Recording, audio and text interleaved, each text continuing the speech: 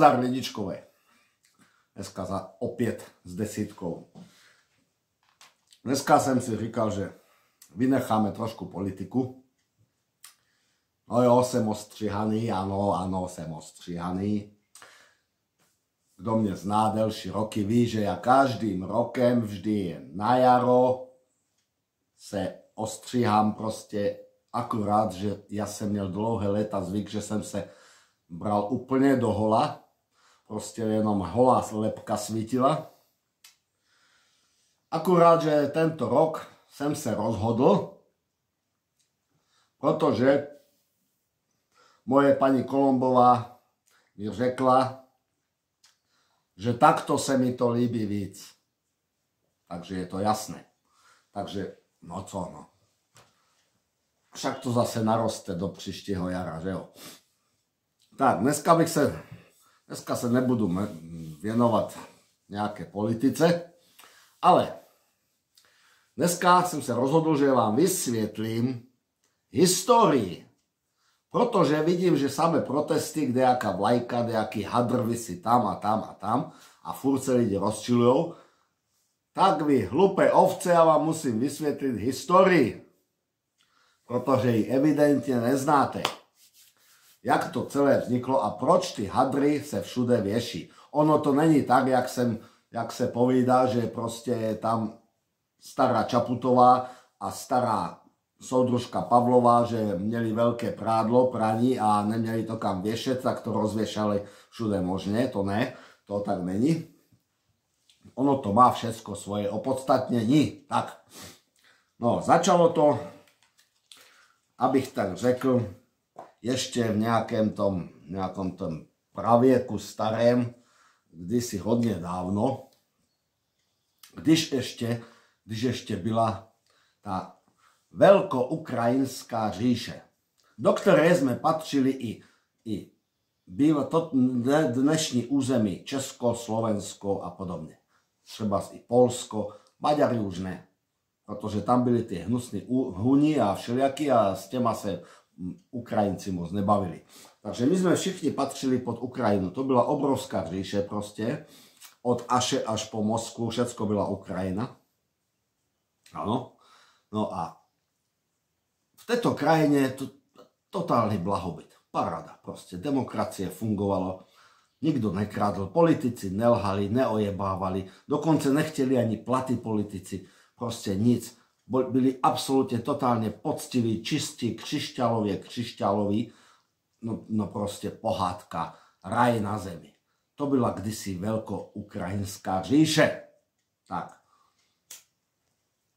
Jenže jednou se tak stalo, že tam v tom, v tom Kievstánu, tenkrát to byl ešte Kievstán, se dověděli tí mocipáni, hodně spravedliví prostě na všechny, ke všem byli spravedliví, stejným metrem měřili všecko. Tak?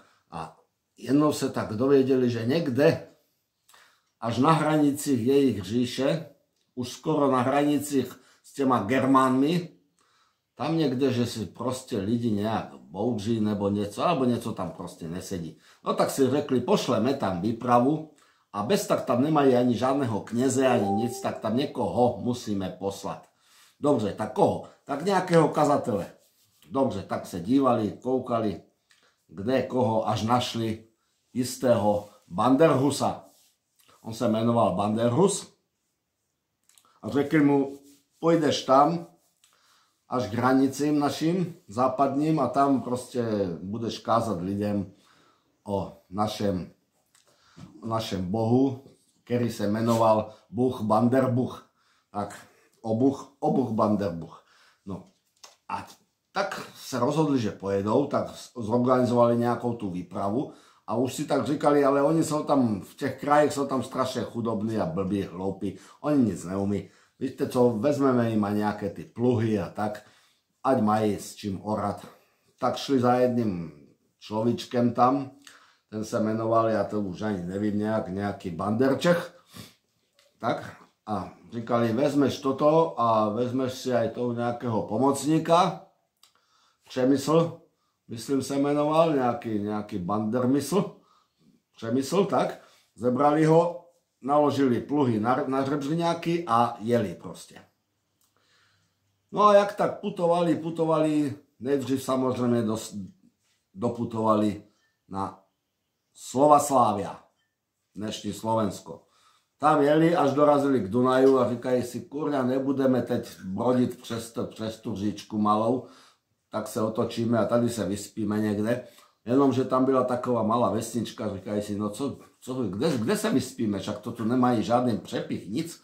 No tak, tak se teda rozhodli, měli sebou i nějaké ty, nějaké ty řemeslníky, oni byli strašně šikovní řemeslníci, výkonní jak svinia, tak si řekli, víte co, postavte tu něco, nějakou boudu rychle, ať máme kde spát. Tak tí řemeslníci, no dobře, je poledne, tak do večera něco zbucháme. Tak se dali do práce, cak, cak, cak a postavili hrad bratislavský. Protože potom oni, oni tam tí lidi, lidi domáci, oni moc, moc ne, neuměli vyslovovat ty zahraniční, teda takové ty komplikované slova, jako Banderslava, protože tak se tomu, tak tomu mistu dali takový název, že Banderslava, no a oni to potom nejak časem skomolili a tak vznikla Bratislava. Jo? No ale už potom odjeli a hrad tam zůstal a dodnes ho tam mají, vidíte, a funguje pořád, vidíte, akí to byli šikovní řemeslníci. Tak. A potom jeli dál. Dojeli až, až na Mordaslavu, to je dnešní Morava, Mordaslava, ano. Tam se taky na pár místech zastavili a potom šli dál zase. A najednou tomu žebřeňáku s tím s těma pluhama se zlomilo jedno kolo a kolo našlo dál. A oni viděli v dáli, než vyměnili rychle kolo, tak viděli je v dáli, že zatáčí za nějaký kopec. Tak si řekli, víte co, přejdeme to přes ten kopec, zkrátíme si cestu a doženeme je. Vylezli na kopec, tam se jim zlomilo druhé kolo a říkají, no co teď? Tak ten Bander Přemysl říká, víte co, my tu zůstaneme. Vylož nám sem, ty Bander Čechu, vylož nám, vylož nám sem ty pluhy a zůstaneme tady a bude. Tak byli na tom kopci, tak říkám, dobré, tak to vyhodili a začali hned orať a co se dalo, to zorali. Kompletně celé okolí, všech, všechny ty kopce tam aj po okolí, všetko to poorali. A tak vznikl ten, potom, potom lidi už si to pamatovali, že je naučili obdelávať zem, takže už, už si je pamatovali, akurát zase nepamatovali celé meno, tak Banderčechovi začali říkať jenom Čech, a protože on našiel ten kopeček nejaký, no a tomu druhému, protože ten perfektne uměl orať, tak mu říkali už ne Bandr Přemysl, ale jenom Přemysl, no. Oráč to byl. No a jeli dal, potom tá výprava už došla až do takové malé vesničky, nejaká Pragasláma, no, tak, tak, tak, a říkali si, už je poledne, už nepůjdeme dál, tady přespíme. A zase ten samý problém, co byl v ten, v ten bar, Banderslávě. Říkají si, co budeme tady, jak, co budeme dělat? Kde, kde se vyspíme? Oni tu nic nemají, jenom že jaké, jakési slamené boudy a podobně. Tak zase ty řemeslníci říkali, víte co, postavíme zase nějaký ten, ten stánek jim tady, ať máme kde přespat. Tak postavili a vedl je, ten parťák od těch řemeslníků se jmenoval nějaký Bandervita, ano, Bandervita, tak od toho poledne se pustili rychle do práce, protože oni byli kurevsky šikovní a postavili jim tam krásný palác. Pro ty lidi to byl palác obrovský, pro ty banderovce to, to, to bylo nic. Postavili. No a tam se začali ty lidi chodit, potom modlit a tak a, a nejaké títo obdivovať, jak, jak to je dokázali postaviť a podobne. No a tak vzniklo z toho potom, oni si ne, zase nepamatovali to, to jméno, tak začali tomu říkať Bander Vita, nejdřív a potom, dobre, bude to jenom Vita, a co Vita? No tak chrám svatého Vita, dobře. A tam se modlili k tomu, k tomu jejich bohu, ten Bander Buch Obuch. Tak, tam se k němu modlili. Jenomže tady tyto lidi, z toho Kievstánu, jak se vydali na cestu, tak si říkali, tam je všude chudoba, tam jsou žebráci sami, musíme si nabrať nějakého jídla. Co teď uděláme? No, tak šli k mori, pretože oni majú more, tady v těch končinách ani, ani nevedia, jak vypadá more. Proste chytli si a najednou chytli veľrybu, posadili na žrebřiňák, tam je, tam je položili a po ceste si vždycky ukrajovali, žrali, žrali. A, a akurát, jak došli do té, do té pragoslámy, tak tam jej dožrali už. Už je sežrali celou, jednom kostra zostala. A chytili, tak co ste, tak vyhodili tam niekam. A tí lidi sa dívali na to, co to bylo za zvíře. Ježiš Maria, aké velikánske. Môžeme si to nechať? On ne, si to nechte. Jej, ale my to nemáme, nám to zničí počasí a tak a všetko, vítr tady fouka. No dobrá, my vám tu postavíme nad tým nejaký stánek. Tak zase tí remeselníci na druhý deň, cak, cak, cak, rýchle postavili krásnu budovu, veľrybu tam poviesili, no a bylo z toho muzeum. Potom, potom tam začali tí lidi nosiť nejakých krámu, všelijakých blbostí tam navláčili cipovín, ale tá veľryba tam vysí dnes, takže to zostala vlastne po tých, po tých z toho, z toho Kievstanu. No a potom ešte biehali chvíľku po kraji, dostali sa im do nejakého Taborstánu, tam založili muzeum, nejaké ten, ten Banderhus tam založil muzeum, pretože musel říkať, když mám niekde kázať nebo co, tak, tak to tu, tak to tu všetci, všetci nebudú spať nejaké chatrči taky, tak tam postavil muzeum jedno a podobné veci. No a začal kázať tým lidem, jenomže tohoto, tohoto Banderhusa tam nechali. Celá výprava říká, my už máme tady toho plné zuby, tieto bídy, ideme, ideme domu, ale ty tu musíš zostať, pretože kvôli tobe sme tu jeli, aby si tu kázal lidem o našem bohovi Vanderbuchovi Obuchovi. Tak. Takže ho tam nechali a on byl tak nasraný. Jeho to tak nasralo, že začal, začal lidem kázať proti, proti tomu Kievstánu a proti vrchnosti a tak proste nasraní byli ako svinia. No. Tak ho potom aj upálili, myslím, no. Tak nejako. Takže takto to bylo asi a proto všude, kde sa táto výprava zastavila, tak všude dnes vidíte tí hadry vyset. Proto je to Národní muzeum, to si myslíme, že je naše Národní muzeum. Ne, to tam bylo postavené kvôli tej veľrybie, ktorou si donesli z Kievstanu, aby měli co žrát. No. Takže takto to celé bylo, proto to vysí i na, i na chrám svatého Víta, protože to oni postavili, aby sa lidi měli kam, kde modliť a podobne. No. No. Takže táto říše potom ešte pár století fungovala perfektne, dokonale, proste blahobyt. Hlavne čím víc na východ, tým väčší blahobyt byl.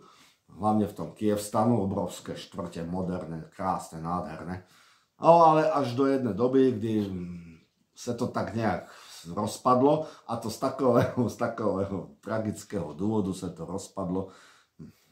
Oni měli takového vynálezce, jak sa menoval Banderizon, no Banderedizon, tak nejak sa menoval. Ale to byl rodak z Kievstanu. Ale on furt něco vymýšľal. A jednou vynalezl, vynalezl e, kamna na uhlí, ale ze smrkového dřeva. Říká, ty budou dobré. A tomu pánovi, ako tomu vládci, ten tehdejšímu, se to tak zalíbilo, říká, ja si to vezmu do paláce. Říká, dobre, zaplatil mu, tomu Banderedisonovi, zaplatil mu a zebral si kamna, odvezli si do toho najväčšieho paláce, do tej najväčšej, najmodernejšej štvrti, jenomže ten Banderedison im neřekl, že ty kamna sú jednorazové. No, proste.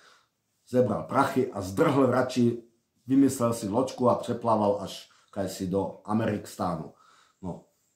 Tak oni si, oni si v tom samozrejme večer slavnosti, všichni sa tam zbiehli, zapálili si, s uhlím tam, uhlí tam naházeli do toho, zapálili si, no a vznikol veľký požár, všetko, proste púlka Ukrajín stánu tenkrát lehla popelem. A než sa všichni spamatovali, tak ostatní te tie maličké tie kolónie, nebo tak nejak, či časti kraje toho, tej veľké ukrajinské říše sa proste radej trhli, nejdřív tam v, tom, v tej Pragoslámne, potom i, i v, tém, v tej Bratislavie, i v Varšavslavie, všude sa proste radej trhli a tak zostala Ukrajina samotná. Než sa oni spamatovali, tak tí už mali hranice a tak to proste celé bylo. A proto sú všude jenom ty vlaječky, no vlajky, takové tie žlto-modré hadry všelijaké. Proto to tam všude vysí. Takže aby ste vedeli, jaká je história. Stádo tupé. Už sa to konečne, měli by ste si to nastudovať, než začnete zase niekde huláka na námestí, že tam nechcete ten hadr. Tak. No. To by bylo asi tak všetko dneska, jenom tak krátce. Brzo budou správy i o politice nejaké. No. Dneska ešte, no, možná vám řeknu jenom také, co, ma, co mne tak pobavilo nejvíc. Protože minule som říkal o tom, jak tí voliči, těch, těch pěti slepenců a taky voliči nášho soudruha, soudruha prezidenta, to sú väčšinou tí mladší ročníky, nejaké tí, tí nejaké havlové deti a podobní. Jak im strašne tleskají, drží im piesti a to podobne. A nejdřív s, ním, s nima vyjebali vlastne s tým dôchodem, protože oni budou, pôjdou do dôchodu pozdej, ako tí starší.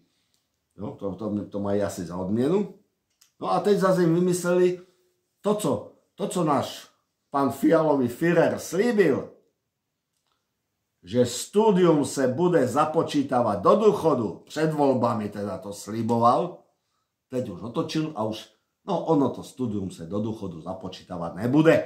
Takže zase vyjebali, no s těma, co ho volili nejvíc a co mu nejvíc tleskají a ti, co dělají ty tí protesty proti pánu Ševčíkovi a podobným, co sú tí uviedomneli a vymité mozečky, tak práve proti tém ste ma nejvíc jebají. Takže asi tak mládeži. Tak, to by bylo lidičky pro dnešek všetko, protože dneska mám takovou náladu. Nechce se mi o politice ani mluvit moc. Dám si pivečko, ale příště budou už správy zase nějaké ty normálnější. Takže učte se historii, aby ste vedeli, odkuď, co a jako. Zdúž.